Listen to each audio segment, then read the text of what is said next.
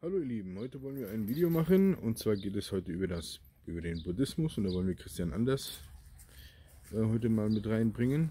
Und zwar sagt er manchmal Christian Anders nimmt er das äh, nimmt er Jesus so wie er es braucht? Nimmt er nimmt er ihn für sich? Ja?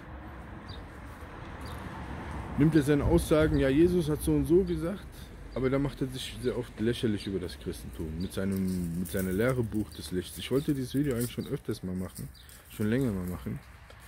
Und ich tue mit meinem anderen Account schon circa seit sechs Jahren schon ihn ähm, ja, kritisieren. Er macht sehr wichtige Videos, viele wichtige Videos auch, so ist es nicht. Ja? Äh, Politik, gerade das bekannte Video von ihm, äh, Buddhist äh, aufheigt Merkel, Buddhist aufweigt Angela Merkel, kann ich euch nur empfehlen. Ja. Sein Satire-Channel, der eigentlich ein, na gut. Nur halt ähm, geht das nicht, dass wenn man Jesus, wisst ihr, wenn man etwas äh, als Wahrheit nimmt, für sich, wenn man das braucht, aber dann die Lehre abstreitet, das funktioniert nicht. Ich kann auch nicht sagen, äh, Mohammed war ein falscher Prophet, aber Allah ist der wirkliche Gott, nur Mohammed war der falsche Prophet oder sowas. Geht ja nicht, ja. Oder ich glaube schon, Allah ist Gott, nur halt äh, diese 124.000 Propheten haben nie existiert. Entweder ich nehme alles an ja, oder gar nicht. Ja, und ich äh, es mir so, wie ich das will. Ey! Fuera de las plantas. Ja? Und um das mal ganz, ihr müsst die Sache immer kurz und schmerzlos schnell fertig machen. Dieses durch die Blume reden ist Zeit verlieren, ja. An jeden Buddhist, der das hier sieht, ich will euch nicht verletzen oder sonst was, ja, aber es ist Wunschdenken. Ihr müsst mal verstehen, warum funktionieren so viele, warum funktionieren so viele Religionen. Nehmen wir das auch mal hier gleich mit rein. Weil den Buddhismus kann ich mit einem Satz Schachmatt setzen, dann nehmen wir das noch mit rein, warum ja, funktionieren so viele Religionen. Es gibt Menschen, die einen kriegerischen Geist haben. Sie wählen sich einen kriegerischen Geist, einen kriegerischen Gott aus. Ja? Wie, ihr habt es jetzt gesehen, falls ihr gesehen habt, falls ihr äh, äh, mal gesehen habt, dass ich oft sage, dass ich Menschen kenne, die immer noch an den Gott Thor glauben, an den Gott äh, Zeus glauben. Das gibt wirklich, ihr habt gesehen, das ist ein sehr netter Kerl. Ich will ihn nicht angreifen jetzt damit, aber ihr habt gesehen in den Kommentar, wie ich ihm äh, gesagt habe, Gott segne dich und hin und her. Und er, mir geantwortet hat, mir Thor, dich äh, ja, beschützen und deine Familie. Ja? Er glaubt wirklich an diesen Gott Thor. Das müsst ihr euch mal vorstellen. Warum? Re Reinkarnation. Ja?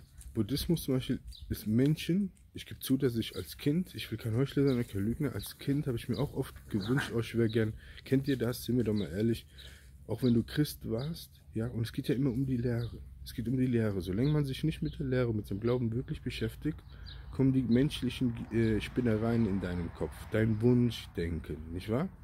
Und so war das bei mir als, da war ich wirklich ganz, ganz jugendlich, ja, nicht, nicht 20 oder sowas.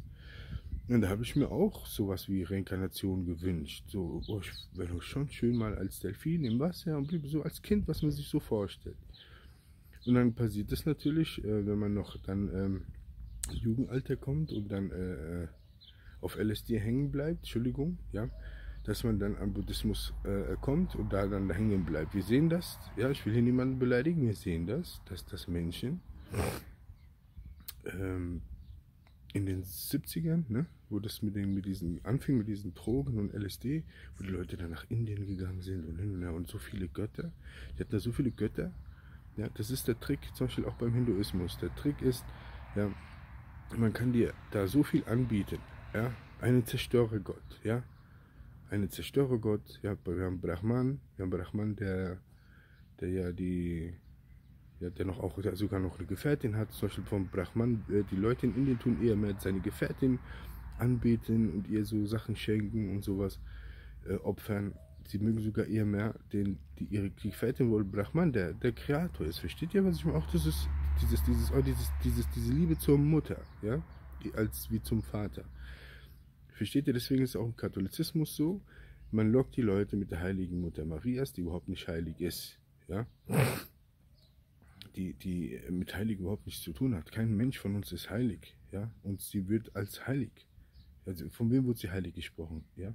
weil ein Papst oder jemand oder, oder Menschen sie heilig sprechen. Jesus muss die Leute heilig sprechen. Jesus sagt, ja, werdet, versucht euch, ja, wenn ihr mich liebt, haltet meine Gebote, dies und das. Und er sagt, ja, ihr sollt dies und das tun, damit ihr, ähm, der, äh, damit ihr wie der Vater heilig im Himmel ist, auch ihr heilig werdet, ja. Oder beziehungsweise, ich glaube, ich hatte jetzt heilig gesagt oder, oder sagte er, was sagte er nochmal? herrlich, ja. Versucht äh, herrlich zu sein, wie, die, wie, der, wie der Vater herrlich ist, ja. Aber heilig, ja, Maria wurde nie heilig gesprochen von Jesus Christus, von, von, von, von den Menschen, die vorher waren, von den Jüngern und Propheten sowieso nicht, ja. Also, versteht ihr? Das ist immer dieses Wunschdenken. Wir haben Wunschdenken in uns. Und das ist zum Beispiel beim Buddhismus, bleiben wir mal beim Buddhismus. Wir haben dieses, diese Menschen, die an Re Re Reinkarnation, ja, Reinkarnation, Reinkarnation noch glauben, die wählen dann natürlich den Buddhismus, weil die dann sagen, oh, ja, man hört mal was von Reinkarn, äh, Reinkarn, äh, ja, Reinkarnation. Und dann, oh, Buddhismus gibt das ja. ja. Gehen sie zu dieser Religion, befassen sich gar nicht aber großartig damit, dass der Buddhismus noch viele andere Götter hat, ja, dass Buddha immer wieder zum Menschen wird, vom Mensch, ja, äh, wie soll etwas Heiliges, ja, Jesus, wie gesagt in meinem anderen Video, ja, habe ich ja erklärt, dass das nur eine Ausnahme war, dass Gott mal in den Mensch kam, damit er uns befreien kann. Aber beim Buddhismus ist es ja so, dass der Mensch ständig wieder in den Gott auftaucht, ja. Und mit einem Satz den Buddhismus zu, zu äh, zerstören, und ich gebe zu, dass ich diese Perversität von einem Moslem sogar gelernt habe, gebe ich zu, aber wirklich ein Einsatz-Schachmatt-Argument äh, äh, ist.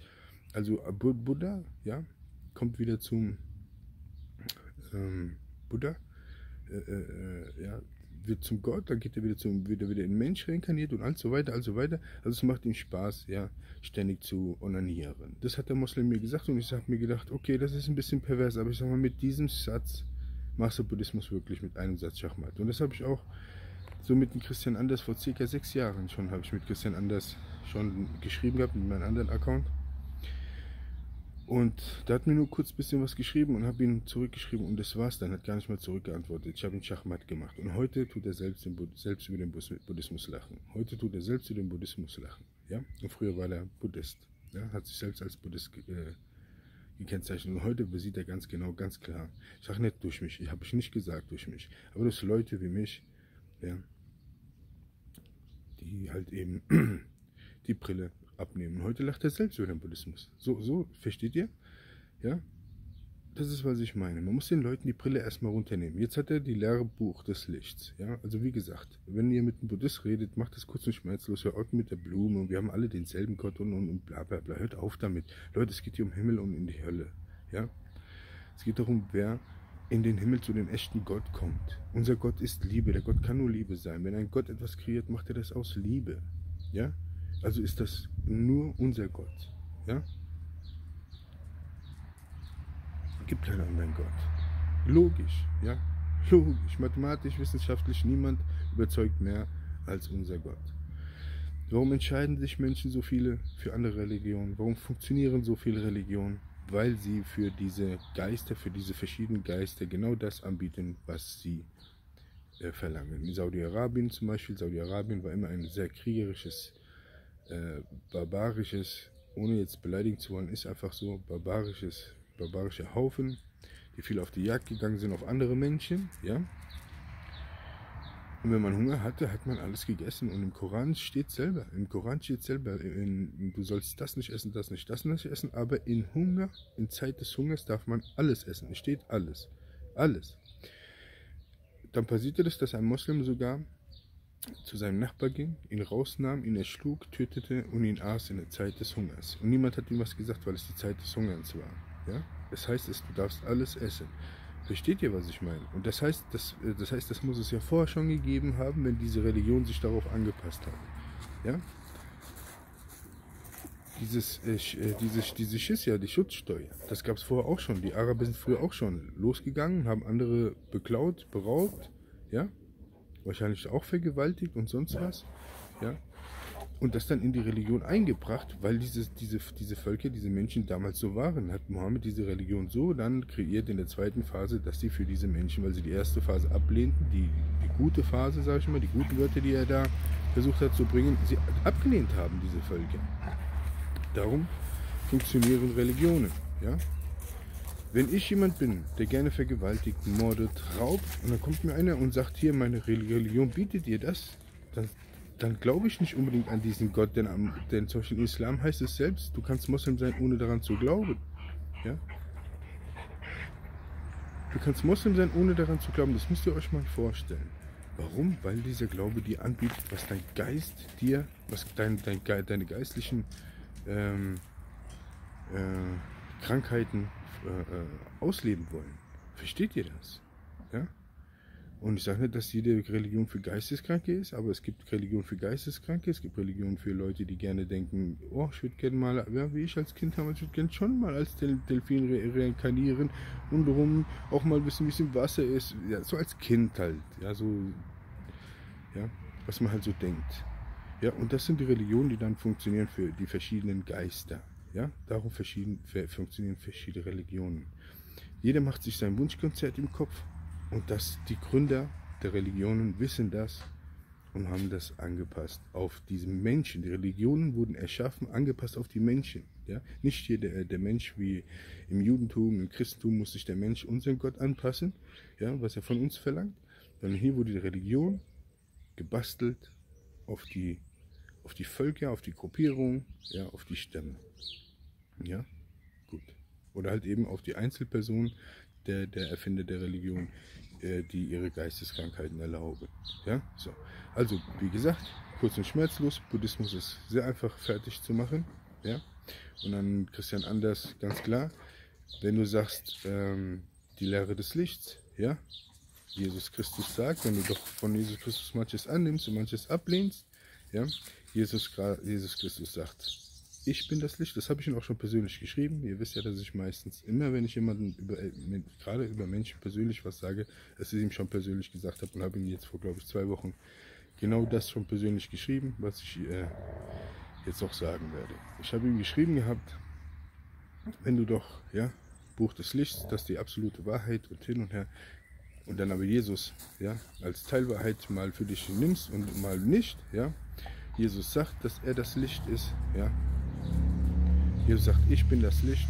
Und er sagt, das Licht, Buch der Lehre, ja, da müsste ja Jesus, da müsste ja Jesus die Wahrheit sein, ja, die Wahrheit sein, wer dieses Buch des Lichts erschaffen hat, denn Jesus sagt, ich bin das Licht. Also in seinem Verständnis, nicht in meinem, nicht falsch verstehen ja. Da müsste diese, diese Wahrheit dieses Buches von Jesus kommen, laut seiner Aussage. Denn Jesus sagt, ich bin das Licht. Jetzt werdet ihr natürlich sehen, wenn er das Video zum Beispiel sehen würde, würde er sagen, nee, nee, das lehne ich aber ab, aber andere Sachen lehnt er an. Ja? Und somit äh, widerspricht er sich, ja, widerspricht er sich komplett. Weil er in manchen Sachen sagt, ja, aber Jesus sagt das so und so und hat nicht Jesus da und so und so gesagt, da benutze das, ja, um zu verwirren, um die Christen, um, ja. Und, äh, ja, genau. So, ihr Lieben, also, Buddhismus Schachmat mit einem Satz. Ja, also Buddha, Buddha äh, mag es wieder auf die Welt zu kommen. Moment, Entschuldigung. Also Buddha mag es äh, auf die Welt zu kommen, ja. Und äh, wieder wieder zu pissen, wieder zu kacken. Ja, Entschuldigung, dass ich das so sage. Aber ihr müsst das, wenn ihr solche Sachen sagt, dann, dann tut ihr einen wirklich im Kopf so, ey Mann, das stimmt ja. Also Gott kommt auf die Welt, ja, reinkarniert wieder, reinkarniert wieder, reinkarniert wieder, weil, er, weil es ihm wohl Spaß macht zu kacken, zu pissen, ja, zu onanieren, weltliche, in die, in, die, in, die, in die Sünde zu fallen, das Welt, weltliche Gelüst. Ja. Er hat, Buddha ist, ist äh, laut, laut äh, Meditieren und hin und her so weise geworden, ja, so geistlich stark und hin und her, dass er dann zu diesem Gott Buddha wurde. Er hat diesen Status erreicht und dann tut er sich wieder erniedrigen. Wie Muslime bei uns sagen, Gott erniedrigt sich und kommt als Mensch. Das war nur eine Ausnahme, damit wir uns von der Sünde retten will. Und jetzt bleibt er da, wenn ihr mich liebt. Ja? Wolltet ihr, dass ich wieder hoch zu meinem Vater gehe, zu meiner Herrlichkeit, dass er wieder diese Herrlichkeit hat und in der Herrlichkeit bleibt. Wenn wir ihn lieben, wollen wir das ja für ihn. Ja? Und hier beantworten Muslime selbst die Antwort, wenn sie verstehen würden, dass das ja nur eine Ausnahme war, um uns von der Sünde zu befreien. Ja? So. Warum gibt es Satanisten? Ist ganz klar, das ist ein große Beispiel. Warum gibt es Satanisten? Ihr, ihr, ihr, ich sehe das oft, dass viele fragen, wie können. Jesus sagt es, Jesus sagt es. Ihr müsst das nur verstehen. Jesus sagt, ähm, Gott, äh, äh, Satan wurde zum Gott dieser Welt. Was heißt das? Das heißt, wenn Satan Gott dieser Welt ist, dann muss die Mehrzahl der Menschheit Satan zu Gott haben. Weil wenn das nur 10, 20 sind, oder 10, 20 Prozent sind der Menschheit, ist das noch lange nicht der Gott dieser Welt. Und nur weil alle böse sind, wir sind, heißt es noch lange nicht, dass Satan Gott dieser Welt ist. Das heißt dir ganz klar, dass, die, dass über 50 Prozent sich für Satan entschlossen haben. Ja? Und wenn Satan, Satan kopiert ja alles immer von Gott und verdreht, das sehen wir auch im Koran. Koran kopiert von der Bibel, von da, von anderen Religionen und verdreht. Ja? Antichrist stellt anstatt Jesus, ja, ist Jesus Isa im Islam. Ja? Antichrist, ja? anstelle von gegen Jesus. Ja? Er wurde nicht gekreuzigt, ja, man hat jemand anderen hingestellt. Antichrist, anstelle von, man hat anstelle Jesus jemand anders hingestellt. Eindeutige Antichrist, schwarz auf weiß, der Islam. Versteht ihr? So.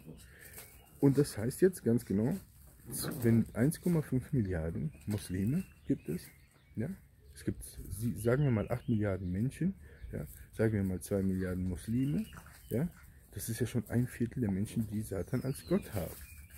Ja, so, dann haben wir noch die ganzen anderen Satansdiener und sowieso, ja, der Vater sagt, der Lügner, der Lügner, wer ist der Lügner? Kommen wir alle, weil wir mal gelogen haben, in die Hölle? Der Vater sagt, wer lügt, der Lügner kommt in die Hölle. Jetzt haben jeder von uns hat mal gelogen. Jeder Mensch, das würde heißen, würde ja gar keiner ins Paradies kommen, würde heißen Widerspruch. Gott verspricht uns den Himmel, ja, wenn wir an ihn glauben und hin und her sagt er auch der, ganz klar, der Lügner, ja, der kommt nicht ins Himmel. Das drückt er hier ganz klar aus. Der sagt nicht hier, äh, versteht ihr? Der sagt vier, fünf Wörter ganz genau, wenn ich in den Himmel komme. Wir alle haben gelogen, also kommen wir alle nicht in den Himmel. Das wäre ja ein Widerspruch. Logische Schlussfolgerung. Wer ist der Lügner? Ja, der, ja, der entweder hinzufügt oder entfernt. Ja, der hinzufügt oder, oder entfernt. Ja, jeder kann sich mal versprechen, ja, sollen wir nicht, wir müssen uns konzentrieren, was wir lernen, ja. Und wenn wir mal einen Fehler machen, müssen wir ganz klar in der Gemeinde uns entschuldigen, müssen ganz klar uns entschuldigen, auch bei Gott entschuldigen. Gott kennt unser Herz, ja. Wir müssen nicht immer Angst haben, Angst haben, Angst haben, äh, mache ich mal einen Fehler. Mir passieren so oft, ich sage anstatt Koran, sage ich aus Versehen Bibel, anstatt äh, dies sage ich das, aber das war, äh, das war nicht mein Herz, der das, das, das gesagt hat. Das war ein, eine, eine menschliche Schwäche von mir, ja. Versteht ihr, ihr müsst nicht so viel Angst haben. Und wenn euch da ein Bruder sagt, warum hast du das und das gesagt, dann erklärt ihr das mit dem ganz normal. Und wenn euch da eine sagt, wie das mir schon mal passiert ist, ja, habe ich auch äh, äh, mal was gesagt.